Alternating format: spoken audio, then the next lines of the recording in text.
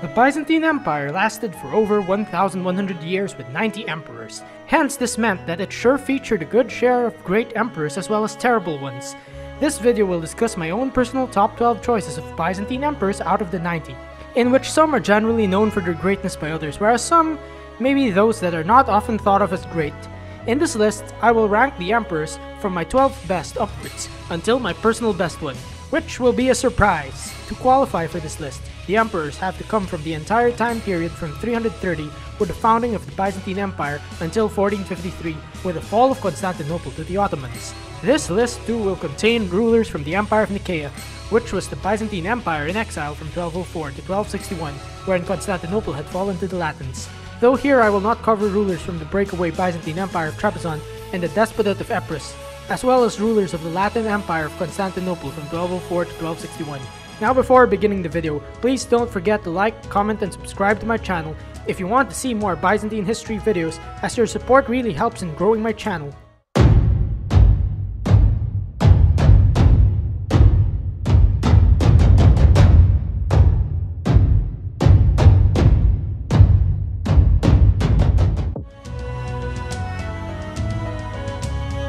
Now here's one emperor that may not appear in any top Byzantine emperors list.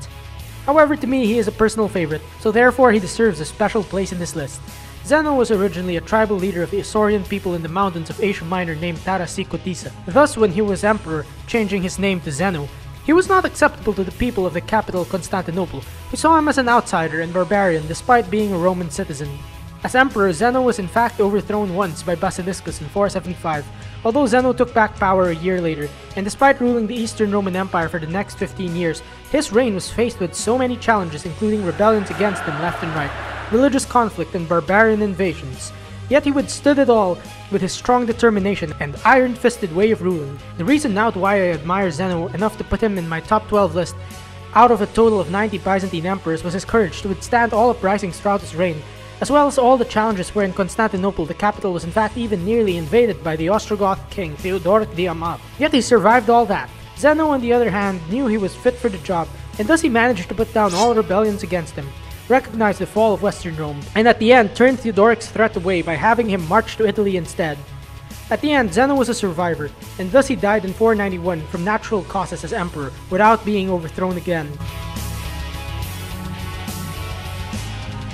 Here's another emperor too, that may not really appear in anyone's top emperor lists. In fact, some would consider him as one of the worst emperors due to his religious extremism, intolerance, and decisions, which therefore could have led to the fall of Rome. However, despite Theodosius I's strong anti-pagan and anti-heretic policies, he still left behind a great legacy, which was in declaring Nicene Christianity the empire's official religion thus setting the character that would define the Byzantine Empire itself. Although a very polarizing historical figure, Theodosius I deserves to be on this list mostly due to the great legacy he left behind, while he also won two major civil wars that stabilized the Roman Empire. Apart from making Nicene Christianity the empire's official religion, he has also made a great impact in building up Constantinople into an imperial capital, shifting Roman power to the east, concluding peace with the Sassanid Persians, and settling down hostile Goths and other barbarians invading the empire by turning them into allied foederati forces. Theodosius' death in 395 therefore marked the end of an era, as he was the last emperor to rule a united Roman Empire, as following his death, the empire was permanently split in half between east and west, and while the west eventually fell in 476, the east with Constantinople survived for a thousand more years. Here's another underrated emperor too, that may not really appear in anyone's top emperors list. Such a shame though, as he was another able ruler with a lot of accomplishments, despite meeting a tragic end being executed. Maurice now who came to power in 582 was the first military emperor in a long time, and he was the perfect emperor for the situation Byzantium was at in his time, being invaded by enemies on all sides, Maurice as emperor did quite a good job in battling the invading Avars and Slavs in the Balkans, while he too managed to make peace with Byzantium's mortal enemy, the Sassanid Persian Empire. The reason now to why I put Maurice in this list is not so much his successes, but because of his long-lasting reforms, such as Byzantium's exarchate system in Italy and North Africa, to further defend these distant lands, and also his achievement being the creation of the important military manual Strategicon, which is still in use today, Maurice though wasn't all that great due to his mismanaging of the economy, which therefore led to underpaid soldiers to mutiny against his rule, which resulted in the usurper centurion Phocas taking the throne and Maurice executed as well as his family, therefore leading Byzantium to a downward spiral as the Sassanid ruler Khosrow II declared war due to their ally Maurice's execution. Now here's the classic example of the scholar and diplomat Byzantine emperor, therefore showing that the Byzantine emperor does not have to be great because of winning battles, but could also be great due to impressing foreign guests with the opulence of the imperial court, as well as writing works that would be essential in running the complex Byzantine government. Constantine VII of the Macedonian dynasty now had a rough beginning by becoming the emperor as a child until a troubled regency, which ended with him sidelined when the admiral Romanos I Lecapenus took the throne from him as senior emperor. Although when Romanos I was overthrown in 944, Constantine VII took back power as the senior emperor. Now as emperor, Constantine VII wasn't the usual type that rode into battle, but rather he spent most of his time in the palace writing books and greeting diplomats by impressing them by sitting on his golden mechanical throne flanked by mechanically operated lions and a golden tree that sang. It is basically for this reason that Constantine VII wrote a number of books as emperor while spending most of his time in the palace and yet not screwing up the empire is why I admire him enough to place him on this list. This one here is an emperor of Nicaea, ruling the exiled Byzantine Empire while Constantinople had fallen to the Latins of the Fourth Crusade. John III now happens to be a very underrated Byzantine emperor that many might not know of,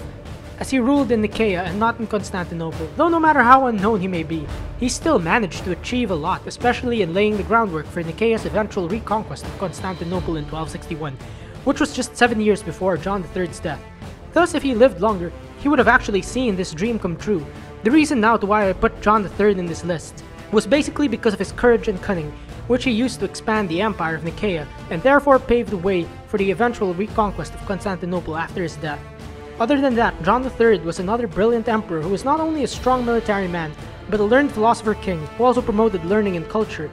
And true enough even led the way to establish the new Byzantium as a Greek kingdom and identity, hence he is also known as the father of the Greeks. It is for these reasons combined to why he is considered as one of my favorite Byzantine emperors.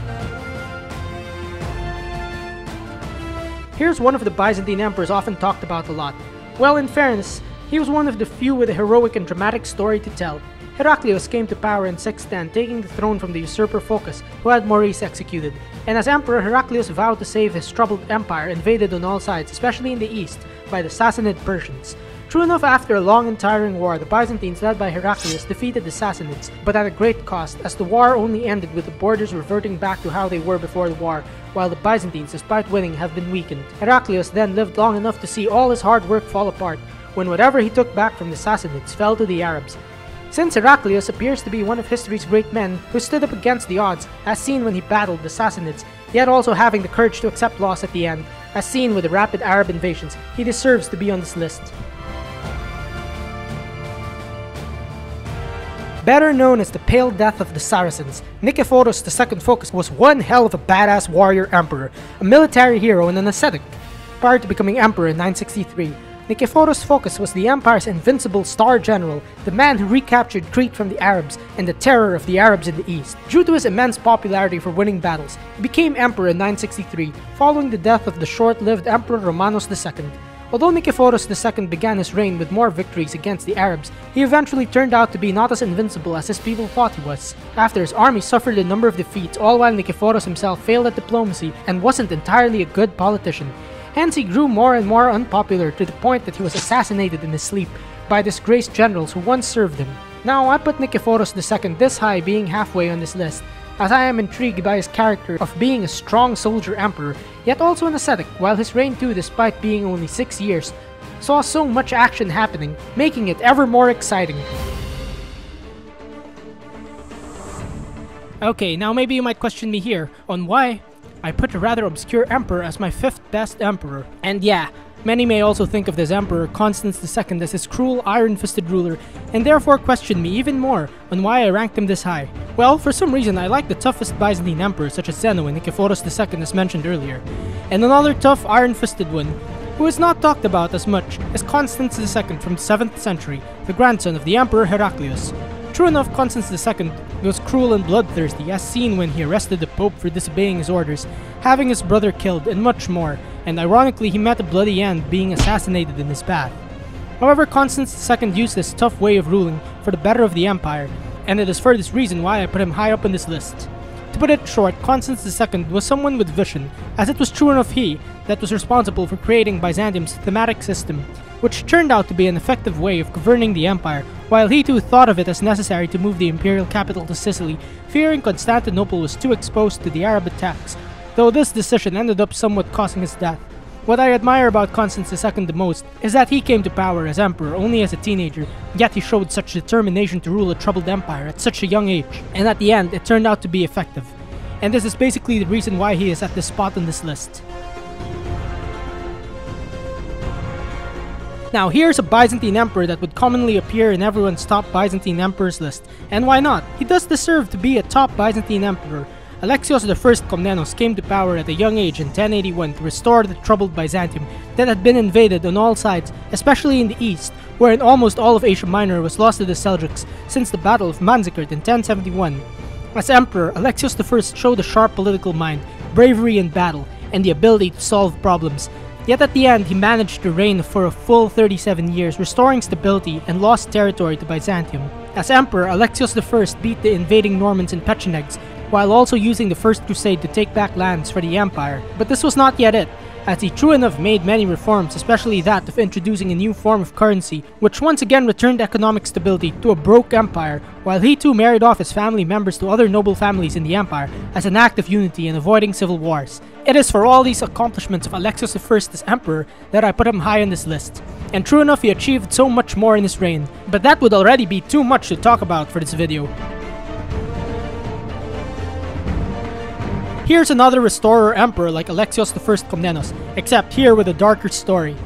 Now Michael VIII Palaiologos is a very polarizing Byzantine emperor, as for one, he achieved the reconquest of Constantinople from the Latin Empire in 1261, and thus he re-established the Byzantine Empire. But on the other hand, he was someone who has done wicked things along the way just to be in power, such as blinding and imprisoning the young Emperor of Nicaea, John IV Lascaris, to get him out of the way. Although Michael VIII, as Emperor of the restored Byzantium, did all he could to make Byzantium a dominant power again, he still did things that were questionable to his people, most notably attempting to convert the Orthodox Byzantine Empire to Catholicism, as this was a way to gain support from the kingdoms of Western Europe, while Michael too gets the blame for neglecting Asia Minor, the Byzantine heartland, by focusing his attention on the West more. However, Michael was still an astute politician and a brilliant diplomat who had the ability to keep his empire intact not just by war, but through diplomacy and alliances. And true enough, at the end, it was an act of his diplomacy that saved Byzantium from a massive invasion of the French king of Sicily, Charles of Anjou, due to Michael taking part in inciting the Sicilians to rise up against French rule in 1282.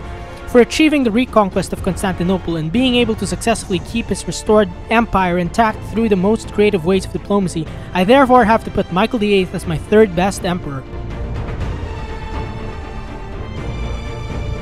And this is the most influential Byzantine emperor, Justinian I the Great. Now you might be asking me on why I am only putting him at second place and not first, despite him being so influential and great.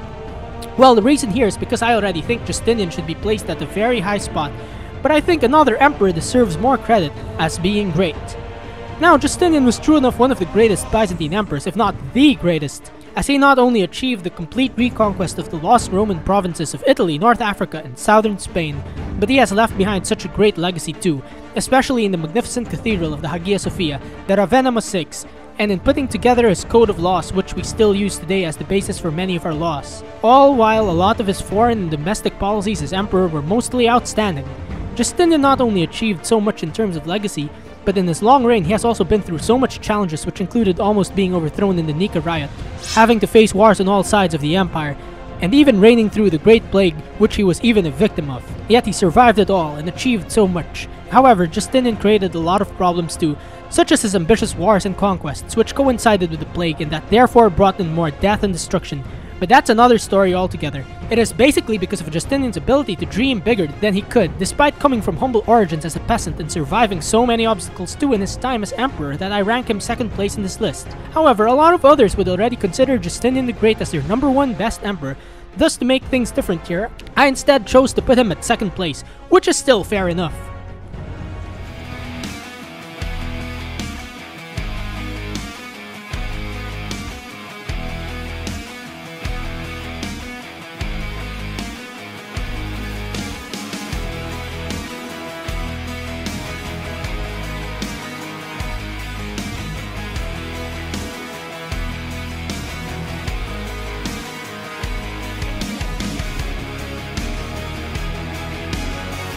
Now my number one pick,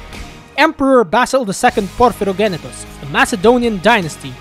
If you ask me why he is my number one emperor and not Justinian, well this is more because of his story and his achievement of being Byzantium's longest reigning emperor, who ruled as senior emperor for almost 50 years. Basil II now has a very interesting story to tell, as he was already crowned as co-emperor as a child by his father, the Emperor Romanos II, but following his father's death in 963, Basil II, as well as his younger brother Constantine VIII, remained as the junior co-emperors of the succeeding emperors Nikephoros II Phocas and John I Tzimiskes. It was only when John I died in 976 when Basil II became the senior emperor. Now, the reason to why Basil II is my number one pick is basically because of his character development, journeying from a weak palace prince to the powerful and feared emperor that literally slayed the Bulgarian Empire out of the map and made Byzantium Balkan superpower, hence earning him the title Basil the Bulgar Slayer.